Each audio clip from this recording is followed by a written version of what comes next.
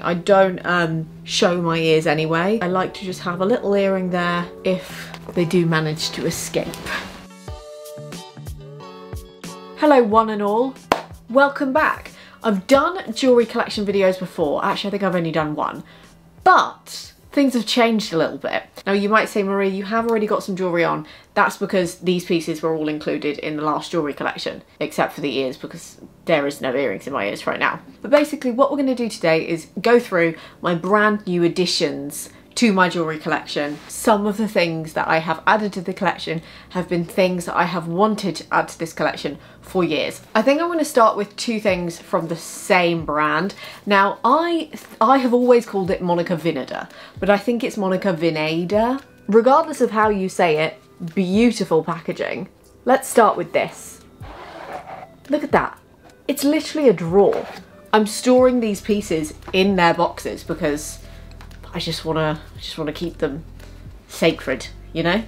This is actually the thing that I have wanted to wear and own since kind of 2018. These really had a moment in 2018. And it is the signature bangle. Ooh, well I messed that bit up, didn't I? This has been my dream bracelet for so long. It's very simple. It's got this gold bar that sits on the wrist. I will show you on in a second.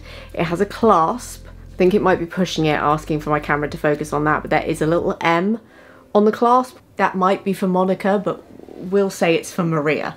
They have three uh, kind of thicknesses of the bangle and then each thickness comes in three sizes. So the size I have is the smallest one, like wrist size, and then it, I have the middle thickness, which I believe is called Signature Thin Bangle. I'm pretty sure it's Signature Bangle, Signature Thin Bangle, and Signature Skinny Bangle, which is smaller and therefore cheaper. So I'm going to attempt to show you how to open it on this background because it helps with the focusing. You have to push down this and then lift the bar.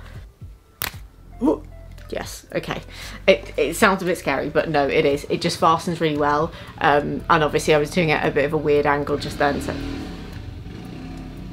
so don't be alarmed. This is how it's supposed to look. You basically push that in if you wanted to close it and then it would close the gap and snap together, but we're gonna put it on.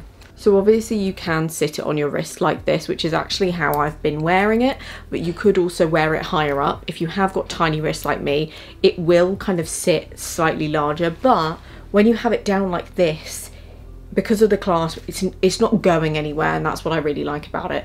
Um, and it just looks really nice, kind of sat very simply on the end of your wrist. But like I wear this one, you could wear it a little bit higher up and stick it in place if you want to. I am a big fan of gold hoop earrings. I literally wear one pair.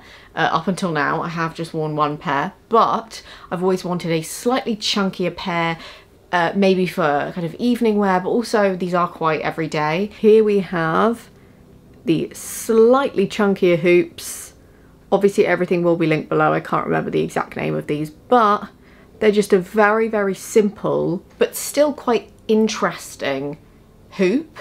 The size and shape of them, it's not uniform, you know, they're not a complete perfect circle. They look a bit like, they kind of have that handmade look to them. They're kind of like ever so slightly kind of like pebble dashed. I hope that picked up on the camera, but yeah, uh, really good, just like a basic that you'll get so much wear out of, that I will get so much wear out of. Um, and will continue to wear my other ones for just like every day and then these are more of like a if you're doing something important in the day or if you've got like a evening thing to go to these are great they're just that bit thicker and slightly more interesting I don't um, show my ears anyway but I like to just have a little earring there if they do manage to escape. I'm actually going to show you a very interesting one now. This is completely different to what I've already shown you and will continue to show you. This is from H. Samuel and it's a collaboration with Disney. Now, uh, you might think Disney is Disney, they don't have jewellery. They actually do. And they have a fine jewellery company. So this isn't like very cheap um, jewellery. This is fine jewellery. So we've got real gemstones in here and this has diamond and tanzanite in it so it's really interesting follows the kind of theme of the whole collaboration and as we open the box you see this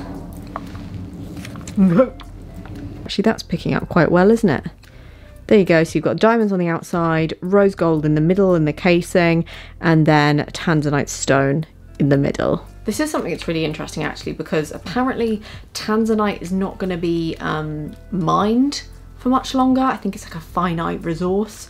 So the fact that that has a tanzanite stone in it makes it quite interesting because obviously it's going to be something that's not going to be available at some point. Will that make the value of the necklace go up? I don't know. Um, I think maybe, but I'm not really sure. If you know, um, you could tell me. But um, yeah, really nice necklace. It's really interesting because it's in collaboration with Disney and you think Disney is that kind of for kids. But no, I think there are quite a lot of adults that do really like Disney. We all grew up with it and I think actually when you look at it and you think that doesn't scream Disney, it just looks like a really nice necklace. So that is something that's really interesting and definitely a bit different um, for my collection. Switching back now to the more traditional gold jewellery, we have something from Edge of Ember and this is the In The Frow collaboration. She's done a lot of collaborations with Edge of Ember um, and this is the first time I have ever had a piece from them. This is from the Paradise collection I believe it was called and then there was different kind of areas and this is the Veneto chain. I think it's got something to do with Venice. Has it got something to do with Venice? I can't remember exactly but it's the Paradise collection because I wear it every day. I just kind of stick it on top of it now. You're gonna see it. It's this. This has literally become my everyday necklace. I have wanted a chunky chain for so long and finally I have a correct one. And as you can tell, I don't know if you can, you can sort of tell how heavy that is. It's a heavy chain. You know, it's really not um, flimsy quality. It's very good. So it has its fastening here, which is a really chunky fastening, which is amazing actually because normally you get so used to fiddling with stuff like that. It really elevates an outfit. Like I've literally got a t-shirt and jeans on, but look.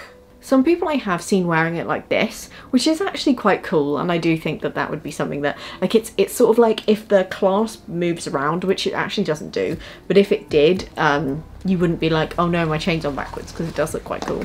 I just think, uh, like, not necessarily wearing it with the t-shirt with the uh, logo on it, because that's kind of distracting, but when I wear this with just like a plain t-shirt it just makes the outfit look so much more like an outfit as well. What's really nice with autumn coming like having like a high neck jumper on polo neck and this it just looks so nice. Such nice quality. I think as well that is um, gold vermeil vermeil vermeil vermeil vermeil i don't know uh, but yeah, it's a really nice quality, really heavy, uh, and it's gonna last me for ages. I do tend to really look after my jewelry. I keep it in one location.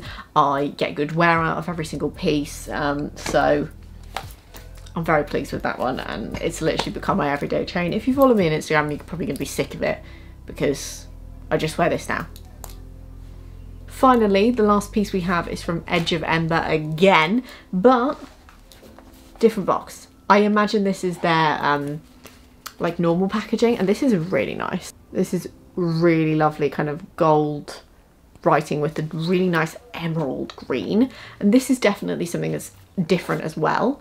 This is a little beaded necklace so definitely more of like a trend piece but also something that as we you know, we're going into autumn winter now, so I wanted one that had sort of like a, a range of colours to match with outfits, but also this is going to come right back around in spring and summer again massively. This is going to be quite difficult to show you on the focus, but as you can see, it's got loads of different colours matching around it. I tend to wear this with whatever, I just kind of have it layered with the chunky chain, which is quite nice, it's just a bit of contrast. Um, you can literally pick out any colour from this and it works really well so it will work really well with autumnal outfits. Obviously this is quite like a summer vibe but I think it's going to work really nicely for autumn winter as well. And again it's something a bit different. This is more of a trend piece rather than the kind of classic jewelry that I usually go for but I think every now and then nice quality trend piece that will last through seasons versus like getting something really cheap and it dies after a week of wearing it. So that is it. I hope you've enjoyed seeing what I have brand new in my jewellery collection. I'm very proud of my new pieces and I have been wearing them greatly with pride I don't know what I'm saying. I'm tired and I need to go and have something to eat. I hope you enjoyed. As always, everything will be linked below in the description if you want to check anything out, if you want to shop anything. It's all linked in there. Thank you for watching. I will see you in the next video.